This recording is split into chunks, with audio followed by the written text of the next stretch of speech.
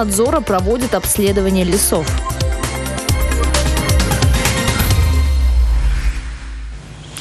Сегодня в республике вспоминают о прославленном земляке, космонавте номер три Андреяне Николаеве. Его сердце перестало биться 11 лет назад. По традиции в этот день на родине чувашского «Сокола» собираются его друзья. Почтить память героев Шоршила приехала временно исполняющая обязанности главы Чувашии Михаил Игнатьев. Вот уже 11 лет подряд именно в этот день на площади перед музеем космонавтики ансамбль «Шурамбуш» исполняет любимые песни Андреяна Николаева. Его друзья говорят, что дважды герою Советского Союза эти мелодии и слова были знакомы наизусть. Но только одну песню он любил больше всего. Вещь,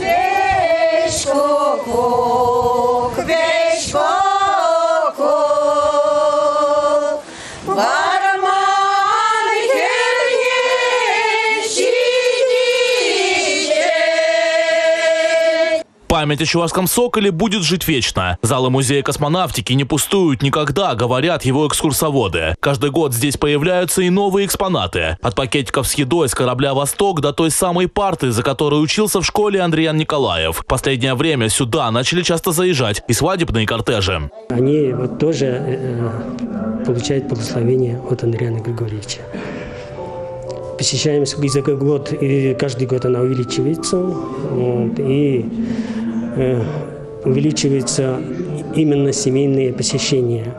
То есть приезжают сюда с семьями, с бабушками, внуками, вот, и знакомыми, которые приезжают в гости. И это очень нас радует. А это говорит о том, что уже память об Григорьевиче, она примножается.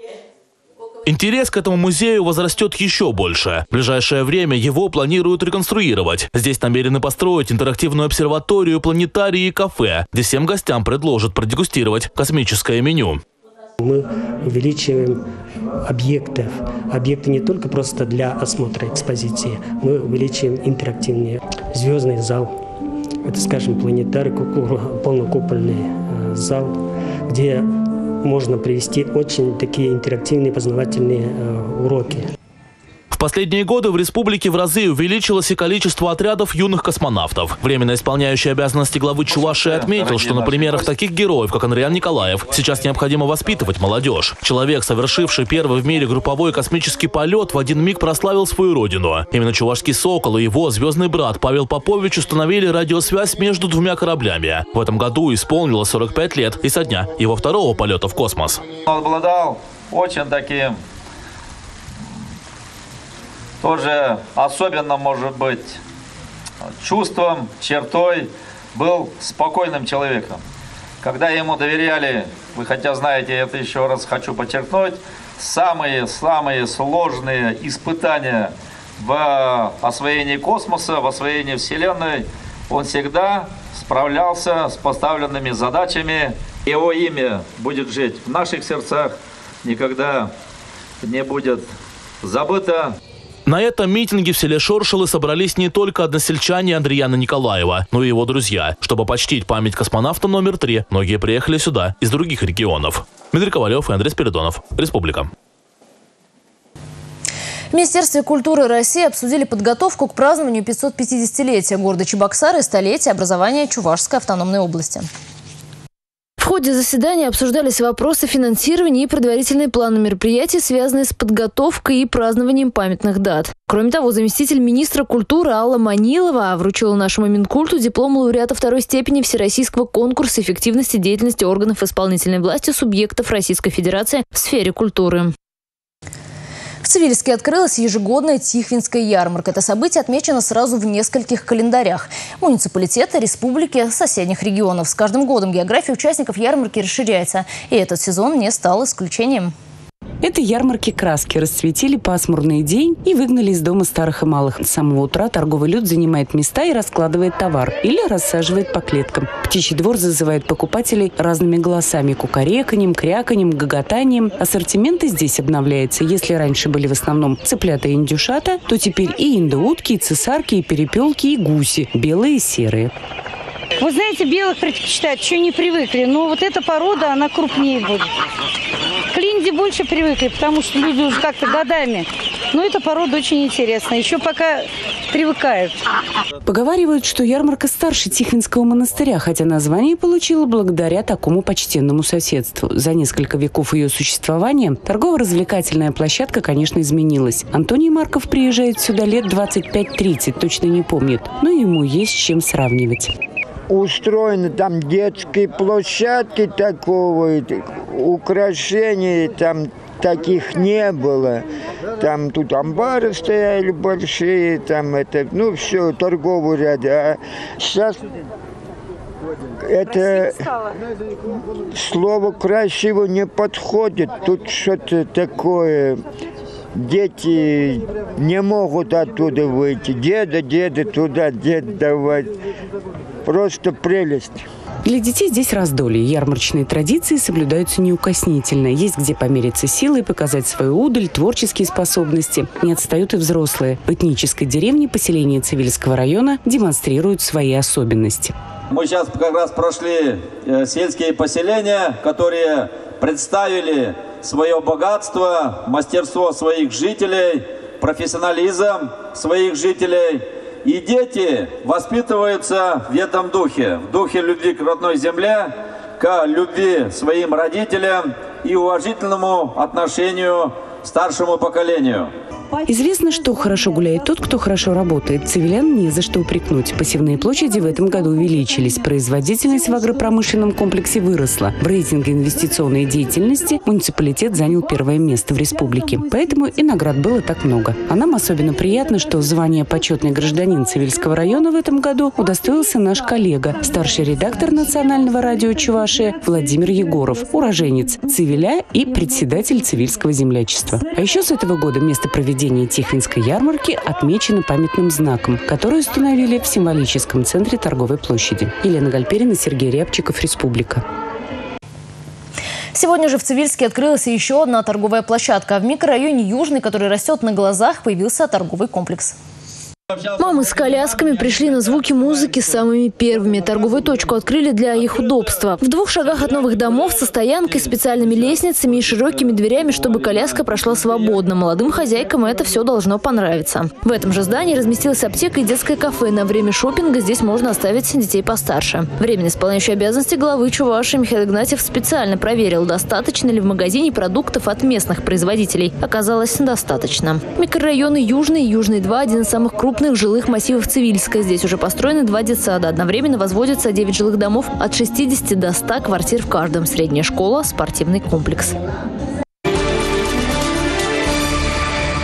Уже год, как Чувашия принимает у себя беженцев с Украины. Как они обустроились в республике и какую им необходимо оказать поддержку? Эти вопросы сегодня обсуждали в Доме правительства. А премьер-министр республики Иван Моторин провел заседание рабочей группы по оказанию помощи гражданам Украины. Сейчас в республике проживают порядка двух с половиной тысяч выходцев с Украины. Большинство из них зарегистрированы в квартирах у своих родственников и знакомых. Но есть и те, кто по-прежнему ютится в центрах временного размещения. Питание и медицинскую помощь беженцам предоставляют бесплатно. Никаких проблем не возникает, отметила министр здравоохранения республики Алла Самойлова. Причем на учете в женских консультациях сейчас стоят и 53 женщины, а в 16 украинских семьях уже произошло пополнение. Беженцам продолжают оказывать и гуманитарную помощь, их обеспечивают обеспечивают предметами первой необходимости вещами, которые приносят чебоксарцы в Центре социального обслуживания. Вопросы с трудоустройством переселенцев полностью разрешены. Имеется у нас специальный банк вакансий, там 710 свободных рабочих мест, в том числе 119 вакансий с предоставлением мест в общежитии. Вакансий на 65 организаций по 100, по 100 профессиям.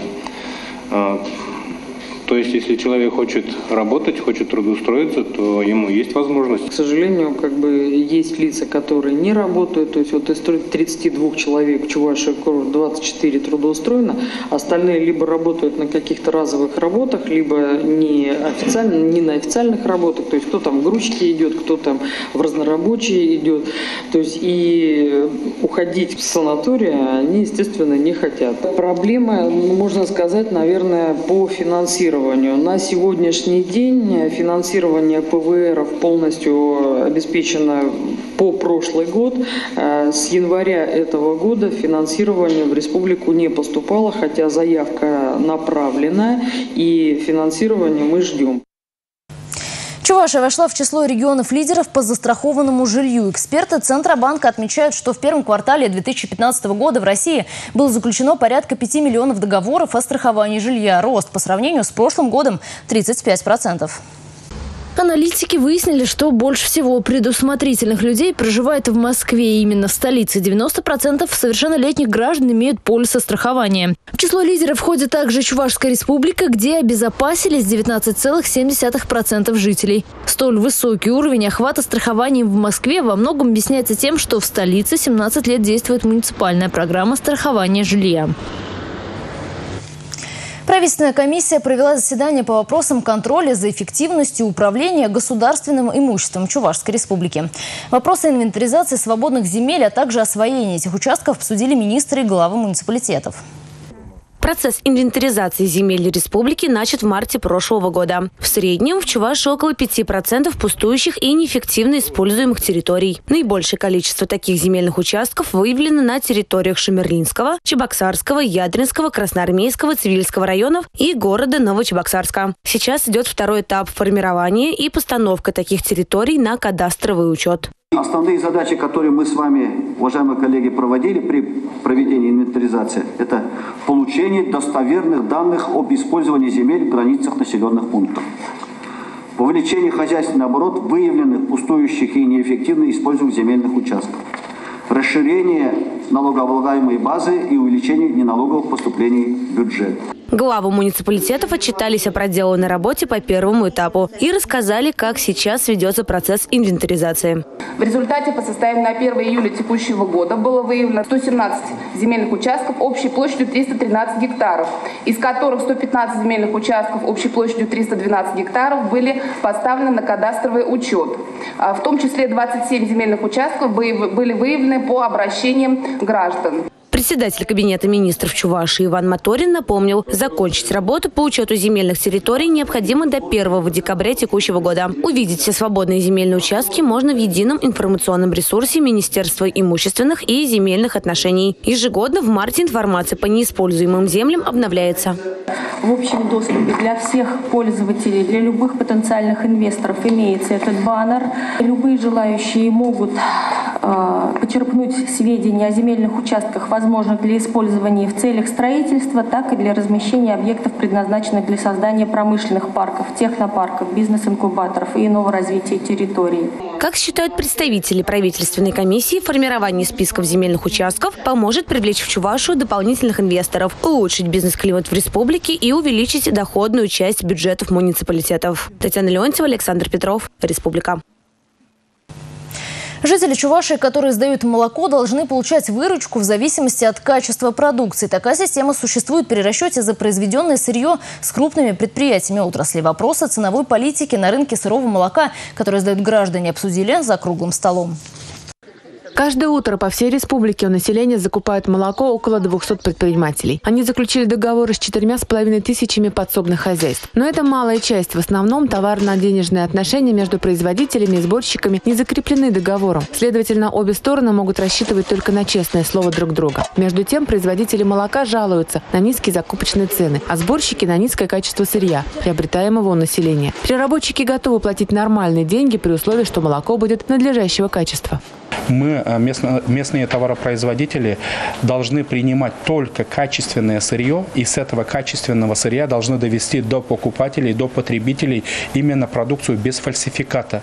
А чтобы уйти от этого фальсификата, мы должны изначально сельских местностей должны работать по качеству. Это предприниматели, это организации, как Чувашпотребсоюз и другие-другие организации. И мы с этим боремся, и мы призываем, даже вот проверки надо начать с нас, молочных заводов.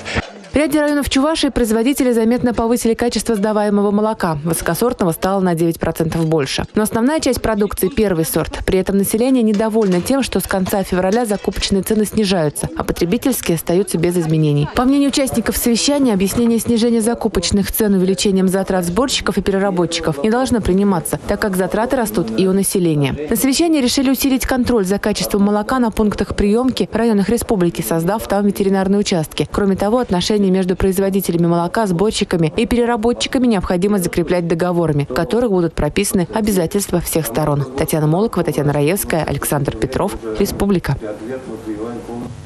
Как чувствуют себя зеленые легкие республики? Специалисты управления Россельхознадзора по Чувашии проводят карантинные обследования садов и лесов. Наша съемочная группа побывала в одном из садов и посмотрела, как проходит борьба с вредителями. Лето – горячая пора не только для дачников, но и для инспекторов управления Россельхознадзора. Ведь именно в это время года особую опасность плодоносящим насаждениям представляют насекомые-вредители. Они повреждают стволы, ветви и плоды. Чтобы выявить вредные организмы и предотвратить гибель урожая, специалисты надзорного ведомства ежегодно проводят карантинное фитосанитарное обследование с применением феромонных ловушек. Ловушка предназначена для отлова карантинного вредителя калифорнийская щитовка. Калифорнийская щитовка – это опасный карантинный вредитель. Ловушки развешивают на высоте полутора-двух метров во время пика активности вредителей. Мониторинг территории проводится около месяца, а учет насекомых раз в 10 дней. У нас лаборатория есть, отдел фитосанитарии и карантина растений, Татарской МВЛ Чувашской Республики. По заключению они идентифицируют вредителей. Если будет выявлен карантинный вредный организм, э, управлением накладывается карантинно-фитосанитарная зона.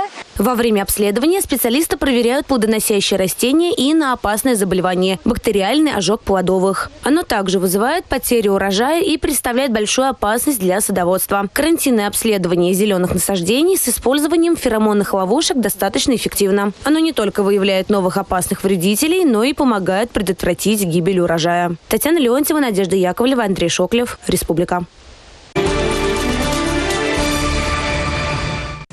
8 июля страна отметит День семьи, любви и верности. В преддверии этого праздника чествовали тех, кто не только хранит свой семейный очаг, но и старается сделать этот мир лучше. Во Дворце культуры «Химик» подвели итоги республиканского конкурса «Лучший женсовет-2014».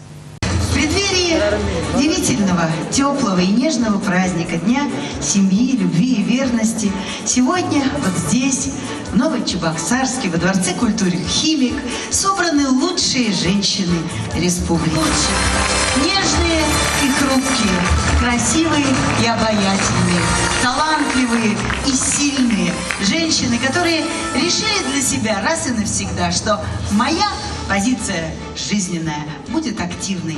Я хочу жить, принося пользу гражданам нашей республики. Я хочу трудиться на благо любимой своей земли. Женсоветы или Советы женщин в России существуют давно. В 1920-х годах такие организации создавались, чтобы привлечь женщин на производство и к общественно полезному труду. Во времена Великой Отечественной войны женсоветы организовывали работу женщин в тылу, помощь раненым и эвакуированным. После Всесоюзной конференции женщин в 1987 году основной ролью женсоветов стало привлечение представительниц прекрасного пола в общественно-политическую деятельность. Сейчас женсоветы объединяют неравнодушных и активных энтузиасток, которые заботятся о благополучии многодетных семей, солдатских вдов, ветеранов войны и труда, здоровья женщин. В Чувашии Совет женщин состоит из 26 районных и городских отделений. Я искренне вам благодарна за ваш неутомимый, ежедневный общественный труд. Вы дарите свое тепло, любовь тем, кто нуждается, несмотря на свои семьи, на свою занятость. И я знаю, что мы с вами и впредь будем всегда вместе продолжать это делать. Тем более буквально через год у нас с вами будет 90 лет нашей организации. Конкурс на лучший женсовет в республике проводят ежегодно. С его помощью выявляют лучшие проекты и практики. Сохранение и укрепление семейных традиций и нравственных ценностей, бережное отношение и любовь к родному краю. Активная работа по пропаганде здорового образа жизни среди женщин и молодежи. Название номинации конкурса больше похоже на серьезные государственные программы. Нашей сильной стороной является то, что мы стремимся, стараемся всегда реагировать на сигналы, на вопросы, на предложения наших общественных организаций, наших женщин. Делаем все для того, чтобы развивать институт материнства и детства, выделять соответствующие средства для того, чтобы в семье, по крайней мере, от количества детей не ощущалась определенная беднота. Лучшим женсоветом Чувашии по итогам 2014 года стало Новочебоксарское городское отделение. Ольга Пырочкина, Алена Алтухова, Сергей Рябчиков. Республика. Это все новости. Хороших вам выходных. Оставайтесь с национальным телевидением Чувашии.